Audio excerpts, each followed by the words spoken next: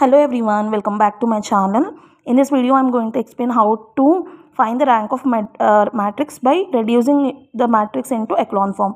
So we have to reduce the matrix into echelon form and have to find the rank of matrix. So the matrix values what I have taken is minus 1, minus 3, 3, 1, 1, 1, minus 1, 0, 2, minus 5, 2, minus 3, minus 1, 1, 0, 1.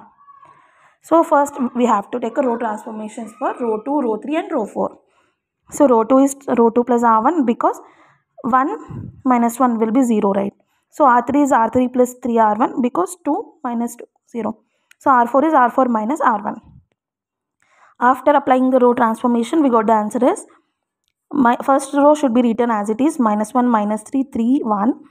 So after applying the transformation we'll be getting us 0 minus 2 2 1 0 minus 11 8 minus 1 0 4 minus 3 0 for these after this we have to apply row transformation for r3 and r4 using r2 that is r3 is 2r3 minus 11 r2 because 2 11s are 22 11 2s are 22 r4 is r4 plus 2r2 so after applying the transformation first row second row should be written as it is.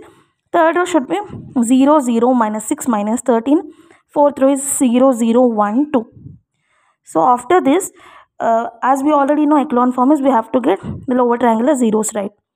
So we got zeros here. We have to get 0 over here. So we have to apply transformation for row 4 using r3 so 6 r4 plus r3 after applying this we'll be getting the answer as minus 1 minus 3 3 1 0 minus 2 2 1 0 0 minus 6 minus 13 0 0 0 minus 1 so if you have clearly observed we got 0 0 0 0 so it was reduced to echelon form. So here the number of non-zero rows is 4 so rank of matrix will be 4 i have uh, clearly uh, have done a video on the uh, on this sum. I'll be uploading in my uh, channel. You can watch this. In the meanwhile if you like my video please do like share and subscribe to my channel. Thank you so much for watching. Thank you